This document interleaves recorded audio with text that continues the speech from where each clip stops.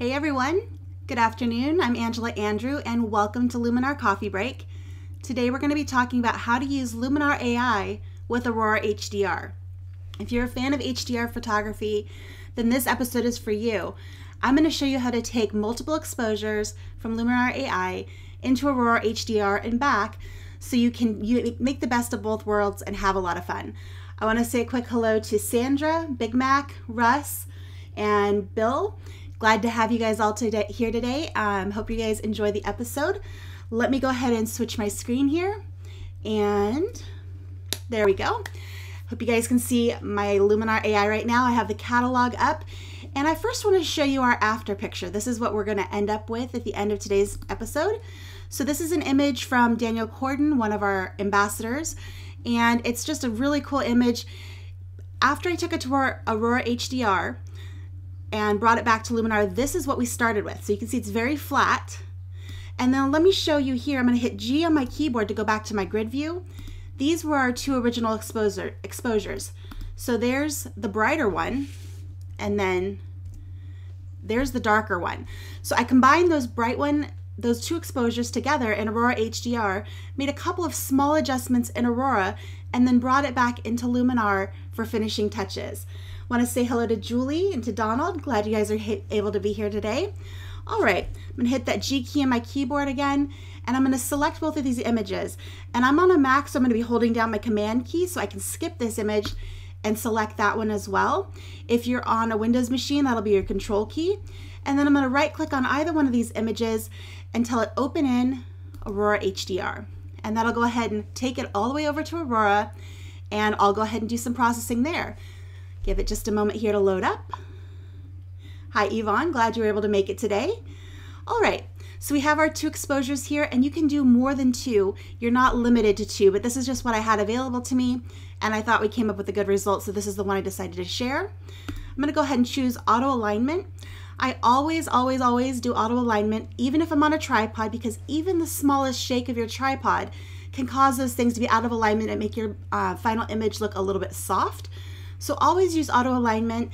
It takes a slightly longer time to process, but the final result is better.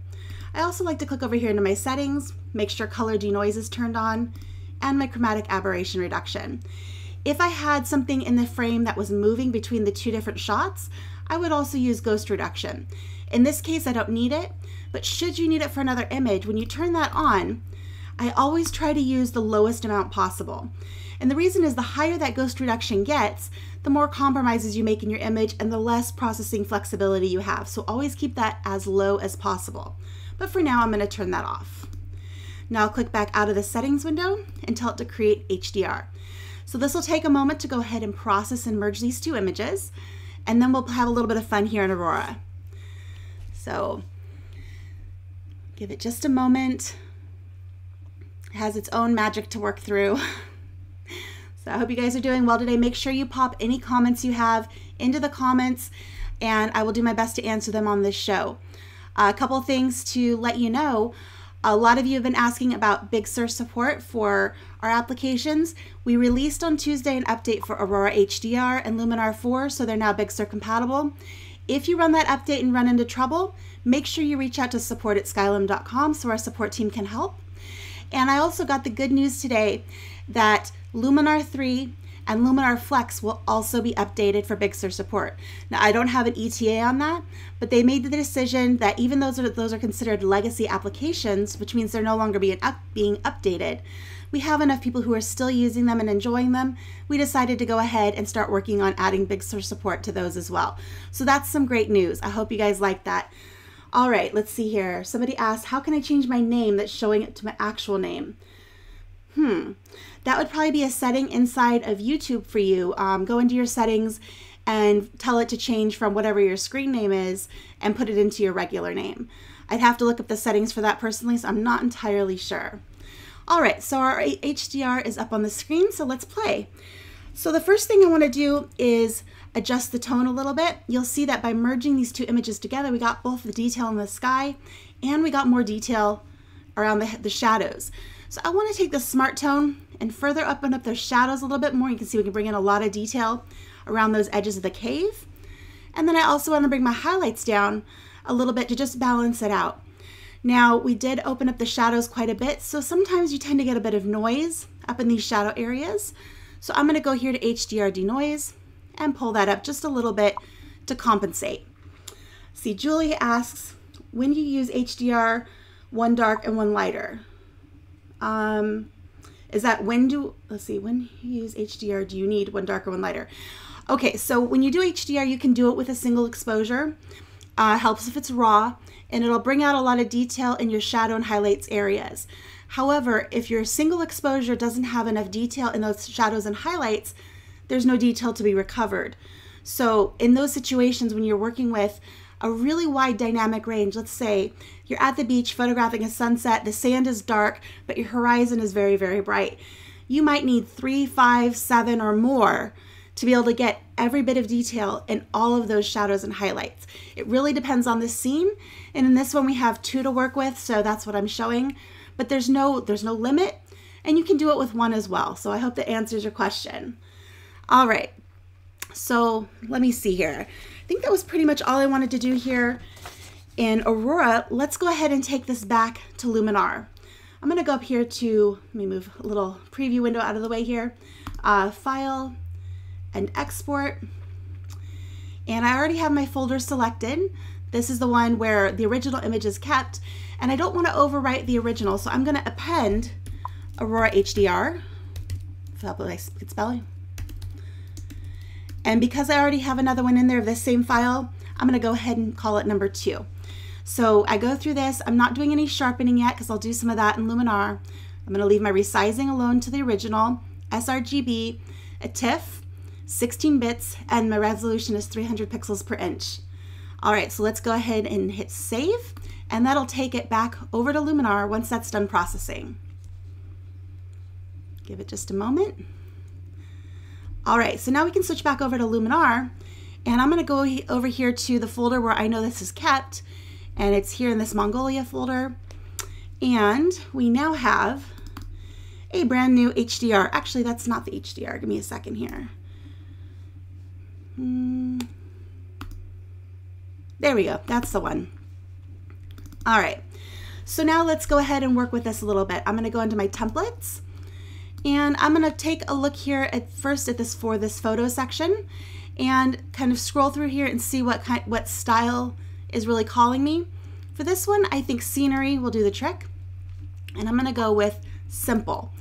And you'll see how that immediately takes that image from being quite flat adds a lot of texture and detail, opens up those shadows a little bit more, and just makes it look a lot better. So let's take a look at that before and the after. Uh, let's see here. Julie's asking why not save it as a raw photo.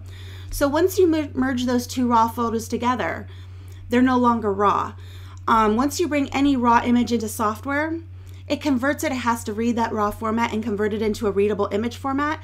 And when you go to export, you can't export another raw image. So that's why I chose to send a TIFF. And that has as much data as absolutely possible for us to work with and do future edits. Hope that helps. All right, so now that we have our template applied and a good starting point, let's go over to edit and refine this a little bit.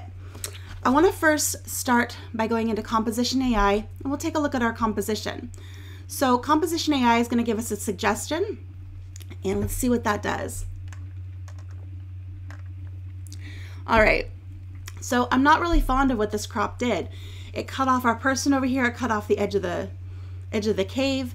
Sometimes the comp the what the AI suggests isn't right. So this is where AI is just a tool, and you're it's up to you as the photographer, as the artist, to choose what's right. So I'm going to go ahead and reset that I'm actually going to change the orientation of this and then move that around. And I think right about there, maybe up a tiny bit more. So that way we have a nice framing here with the cave.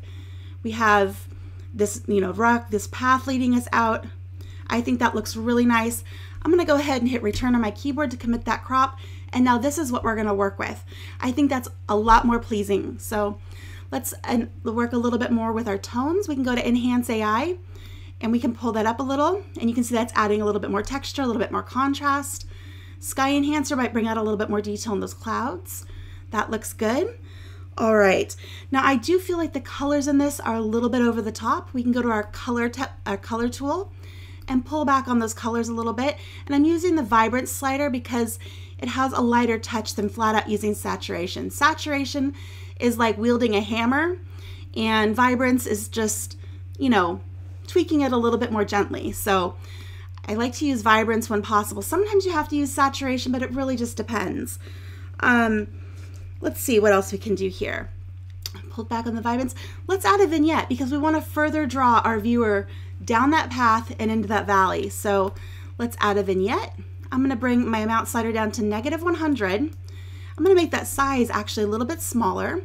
I'll click on choose subject so I get this placed where I want it. I'm going to move it up a little bit here so this opening in the cave is the center of our vignette. Then I'll go down to our advanced settings and I'm going to grab feather and bring that up so we have a nice smooth transition. And now you're probably looking at this going, wow, that is a really dark vignette, way, way, way too much. And I absolutely agree. I pull that vin vignette amount slider down to negative 100 because I want to be able to place it more easily. Now that I have it placed, I can go to my amount slider again and pull that up to the point that I think looks good. I think that looks awesome right there. So this is where we end up. Let's go ahead and take a look at our before. Come on. Oops, I need to click on choose subject there, turn that off. Now there's our before and our after. So Sandra's asking about the raw to edit.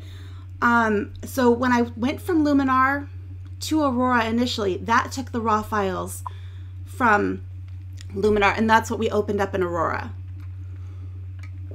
Um, and you're asking about color grading. There is a LUT tool in Aurora, and there's also the Mood tool, which uses LUTs here in Luminar. So you can definitely do color grading if you want to. All right, so there we go. There's the before, the after. A couple of things that I want to fix. We have a little bit of something here in the bottom right corner, and then this little bit of sun flare right here. We can easily get rid of those, get rid of those distractions. Let's go up to our erase tool. And I'm gonna go ahead and use the bracket keys on my keyboard to make that brush a little bigger. And I'm just gonna brush in there and brush in that corner. We'll go ahead and click erase. And come on. there we go, it's, it's working. Let's see. Sandra says I'm a visual artist too. Lightroom editing on. So when I go, right in this situation, I'm using Luminar AI as the home base. If I'm going from Lightroom, it depends on what I do in Lightroom or what I want to do in Lightroom, whether or not I'll send a TIFF with edits or send the raw. I do both. So there we go. Alrighty. So now those little distractions there are gone. Now, if you look at this and you think maybe it's a little over the top, I know everybody has their own personal taste and how what they like. You can always grab this slider down here in the bottom right corner, drag that back to reduce the overall effect. Let me pull that back. What on earth did it just do? It popped. Well, you know what, folks? Guess what happened? um, because we're using a beta version of Luminar AI, Luminar just crashed. Never a great thing to happen on a live presentation, but to let you know that we're thoroughly testing this, and that's why we're doing this. These things happen, and I can go ahead and report it to our QA team, and we'll get it fixed before the launch. And on that note, not sure if you heard, but we have a target date now. We are targeting to release Luminar AI on December 15th. So for those of you who are wanting to get this before Christmas, either as a gift for yourself or a loved one, or to take those family pictures and make them amazing, you should have it before Christmas. So with that, I want to say um, have a great afternoon, and I hope you guys enjoyed the presentation, even though we got it cut a little bit short. You can see what the power is of working with both Luminar AI and Aurora HDR. So I hope you give it a try when the software comes out and have some fun with that. So I'm going to go ahead and sign off. I hope you guys enjoy the rest of your day, and I will see you tomorrow. Bye-bye.